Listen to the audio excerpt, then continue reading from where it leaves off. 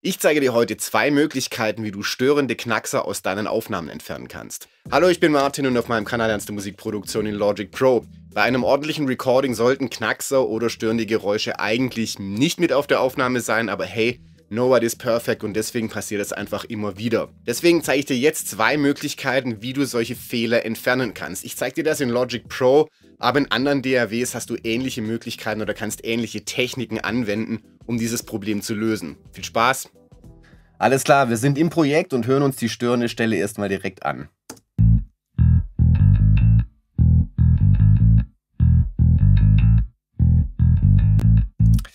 Autsch. Also das ist wirklich richtig laut, der Knackser. Ich zeig's dir nochmal.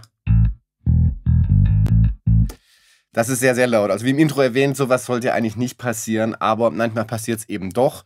Und dann muss man irgendwie eine Lösung dafür finden. Aber keine Angst, wir werden diesen Knackser hier entfernen. Und zwar machen wir das im Logic im Audio-Datei-Editor. Bevor ich dir gleich die zwei Möglichkeiten zeige, wie wir das machen, möchte ich dir noch kurz eine ganz kleine Einweisung in diesen Audio-Datei-Editor geben.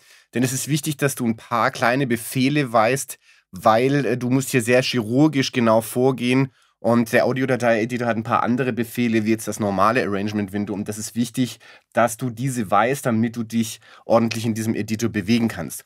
Du erreichst den Audiodatei-Editor, indem du einfach auf die betreffende Region hier doppelklickst, klack, klack, und schon sind wir drin.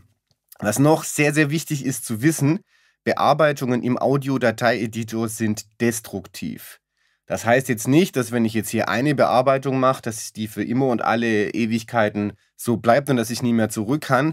Wenn du aber dieses Projekt schließt nach der Bearbeitung, dann kannst du es nicht mehr rückgängig machen. Deswegen bei solchen Sachen, bei solchen heftigen Eingriffen, wie wir sie gleich machen, bitte immer eine Sicherungskopie anlegen oder einfach die Spur direkt im Projekt bouncen, damit du nochmal was hast, womit du zurückgehen kannst.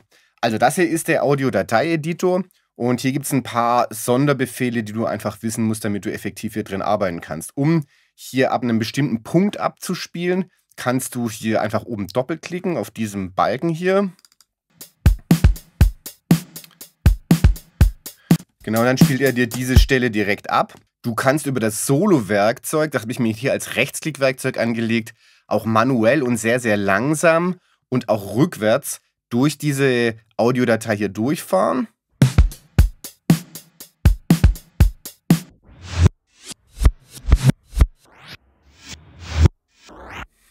Okay, sehr experimentell, aber wie gesagt, für so chirurgische Eingriffe ist es wirklich gut, wenn du hier sehr, sehr langsam durch kannst. Und das ist auch eine sehr wichtige Funktion, du kannst bestimmte Stellen markieren und immer wieder abspielen lassen. Wenn ich jetzt also hier sage, ich möchte genau diesen Takt oder es ist kein Takt, diese Stelle haben, dann hältst du einfach die Maustaste oder den Mauszeiger, äh, Mauszeiger gedrückt und kannst jetzt über Control-Leertaste genau diese Stelle immer wieder abspielen. Dann spielt er dir nur die Stelle ab und das wird nachher jetzt gleich auch wichtig bei Knackser bearbeiten oder Störgeräusche bearbeiten. Was auch sehr cool ist und nicht nur zum Knackser bearbeiten, ist das Freistellen bestimmter Stellen oder bestimmter Schläge. Das kann auch für Sampling nützlich sein. Das zeige ich dir auch noch kurz. Das machst du im Transientenbearbeitungsmodus. Den findest du hier. Das ist dieser kleine Button hier. Nee, halt der war es. Entschuldigung. Und wenn ich den jetzt klicke, dann siehst du die Transienten. Die sucht dir Logic selber raus. Du kannst die hier vergrößern oder auch verkleinern. Das heißt, du kannst es genauer machen oder ungenauer. Und nehmen wir mal an, ich möchte jetzt diesen Schlag hier, diesen Einschlag hier freistellen oder ausschneiden. Dann markierst du den einfach, indem du auch wieder hier die Maustaste gedrückt hältst. Zack. Und dann gehst du einfach auf Funktionen und dann Trimmen. Er sagt dir dann nochmal, hey, alles andere wird gelöscht, nur dein ausgewählter Schlag wird sozusagen getrimmt. Und das mache ich jetzt einfach mal und dann hast du nur diesen einen Schlag hier jetzt freigestellt. Das ist gut für Sampling oder das ist gut, falls du einen Schlag ausschneiden möchtest und den zum Beispiel an einer anderen Stelle nochmal einsetzen möchtest, wo der Schlag nicht so gut war oder wo ein Ton nicht so gut war. Okay, jetzt bist du ausgestattet mit den Grundfunktionen im Audiodatei-Editor und jetzt können wir uns tatsächlich an diesen Knackser hier machen. Wir hören nochmal kurz rein. Der war also hier relativ am Ende. Knacks, da habe ich ihn schon gehört. So, jetzt können wir einfach die gerade gelernten Techniken anwenden. Ich zoome also rein. Ich vermute mal, das ist der Knackser. Manchmal sieht ein Knackser oder Störgeräusch, das sieht jetzt immer ein bisschen äh, unterschiedlich aus. Manchmal ist es so eine Spitze, manchmal geht die Spitze auch nach unten. Oder es ist nur so ein dicker Strich wie hier. Ich wende jetzt genau die Techniken nochmal an, die ich dir gerade gezeigt habe. Ich mm, markiere also das hier und spiele diese Stelle über Control-Leertaste ab, um zu hören, bin ich an der richtigen Stelle. Ja. Du kannst auch nochmal, oder wir können auch nochmal mit dem Solo-Werkzeug, da ist der Knackser, direkt rüberfahren. Also wir haben die Stelle lokalisiert und jetzt werden wir sie ausmerzen, okay? Das machst du hier im Dateieditor ganz einfach mit dem Stiftwerkzeug. Das ist Möglichkeit 1. Das heißt, ich kann jetzt diese Amplituden, das nennt man diese Hoch- und Runterwellen hier, die kann ich einfach überzeichnen oder die nicht vorhandene Amplitude, was den ähm, Knackser letztendlich auch auslöst, die kann ich überzeichnen. Das heißt, ich gehe jetzt hier rein, vielleicht nochmal ein bisschen näher zoomen, da ist unser Knackser und jetzt male ich diese Linie hier einfach nach. Das heißt, ich möchte keinen Knackser, sondern eine normale Amplitude. Und ich orientiere mich jetzt einfach so ein bisschen an der Stelle, wo kein Knackser ist. Das heißt, ich nehme das jetzt und zeichne es einfach so nach. Wir schreiben praktisch hier diese Amplitude neu oder machen das hier neu. Und jetzt schauen wir mal, ob jetzt immer noch ein Knackser an der Stelle ist.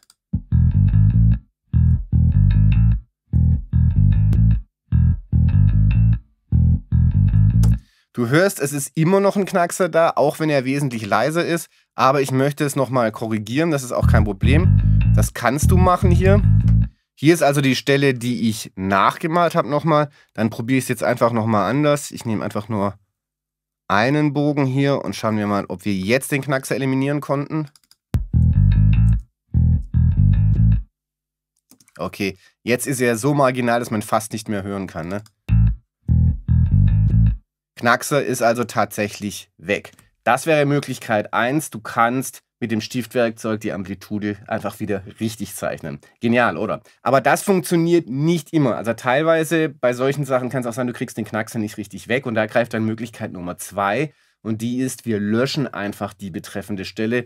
Wenn es so eine kleine Stelle ist wie nur ein Knackser, kann man das machen. Wir löschen sie und ziehen den anderen Part vor oder den dahinterliegenden Part ein bisschen weiter vor, dass wir praktisch die Stelle einfach weggelöscht und in den Mülleimer geworfen haben. Ich mache meine Bearbeitung hier nochmal zurück. Mal hören, ob der Knackser wieder da ist. Da ist er wieder, sehr schön, beziehungsweise nicht sehr schön. Und was wir jetzt probieren oder was ich jetzt probiere, ist einfach, dass ich die Stelle hier markiere, wie wir es vorher gelernt haben. Wir zoomen nochmal rein. Ich bin also hier. Ich werde diese Stelle jetzt markieren und einfach weglöschen und der hintere Teil wird sich automatisch an den vorderen Rand ziehen. Was jetzt ganz wichtig ist, wenn du sowas rauslöschst, dann musst du das bei null Durchgängen machen, denn sonst löschst du einen Knackser raus und produzierst einen anderen. Ein Nulldurchgang ist immer, wenn die Amplitude hier am Nulldurchgang vorbeiläuft oder den durchkreuzt. Das ist der Nulldurchgang und das kannst du automatisieren. Und zwar über Bearbeiten, indem du das Häkchen hier setzt, Bearbeitungen an Nulldurchgängen einrasten. Damit macht er das schon automatisch. Das heißt, ich nehme jetzt einfach hier diesen Bereich. Ich versuche es direkt am Nulldurchgang hier zu machen. Zack. Und jetzt hast du schon gesehen, er sucht sich automatisch die beste Stelle raus. Ich gehe dann einfach auf Löschen. Er sagt, Achtung, der ausgewählte Bereich wird unwiderruflich gelöscht und so weiter. Machen wir jetzt einfach knallhart. Er löscht es weg und jetzt schauen wir mal, ob wir auch mit dieser Methode Nummer 2 den Knackser wegbekommen haben. Und der Knackser ist weg.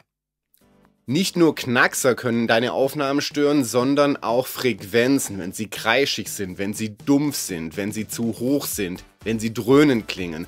Und von diesen Frequenzbereichen gibt es insbesondere sechs, die Probleme in deinem Mix verursachen können. Wenn du nicht weißt, welche das sind, dann empfehle ich dir in meinem PDF sechs Problemfrequenzen. Das habe ich dir unten im ersten Kommentar angepinnt, da kannst du dir es runterladen. Da zeige ich dir diese sechs Frequenzen, welche das sind und warum sie Probleme in deinem Mix verursachen und wie du diese Probleme beheben kannst. Also unten im ersten Kommentar angepinnt, PDF kannst du dir kostenlos runterladen, hat schon vielen Leuten weitergeholfen. Falls du noch nicht so sicher mit dem Mixing bist und dich erst noch ein bisschen reinwühlen willst und ein paar Basics lernen möchtest, dann empfehle ich dir meinen Mixing-Grundkurs. Das ist eine Playlist hier auf YouTube, die kannst du dir da anschauen. Ansonsten bedanke ich mich ganz herzlich bei dir fürs Zuschauen, schicke dir viele Grüße aus Alicante. Wir sehen uns und bis bald.